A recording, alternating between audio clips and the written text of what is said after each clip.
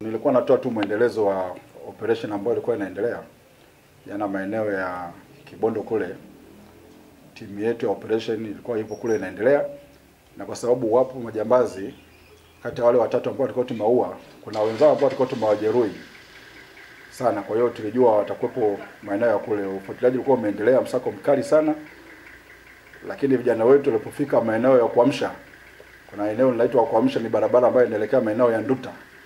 Hii tulipata taarifa kutoka kwa wananchi kwamba wameona watu ambao walikuwa wanachechemea na wanasaidiana wanasaidiana ku, kwenda katika ile eneo la kuamsha ambayo inaelekea maeneo ya Nduta. Kwa hiyo ni obviously ni kwamba ni wenzetu ambao walikuwa wanarudi kambini uh, maeneo ya kwa sababu kuna kambi ya Nduta pale. Kwa hiyo tukachukua hatua za haraka, tukafika maeneo hayo na kweli tukakuta kuna watu ambao walikuwa wanapokotana, wengine wakiwa na majeraha ya risasi.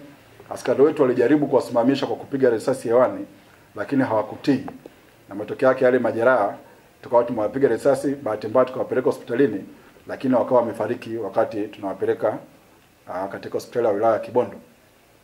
Kwa hiyo jumla ya majambazi ambao tumewaua baada ya hii operation, jumla yao walikuwa wale watatu, na sasa hivi tukawa tumewaua na wengine watatu. Kwa hiyo jumla ya majambazi ambao wameuawa mpaka sasa hivi kwenye lile tukio, jumla yao ni majambazi sita, lakini kuna yule askari wetu DC James ambaye alikuwa ameletwa hospitali ya Maweni. Tumeshafanya utaratibu na ameshapakiwa kwenye ndege ya ATCL. Muda huu mchache ataruka kule Dar es Salaam ili apelekwe Moi kwa ajili ya kuweza kupata matibabu zaidi ya lile jeraha ambalo lilipata wakati akiwa analitumikia taifa.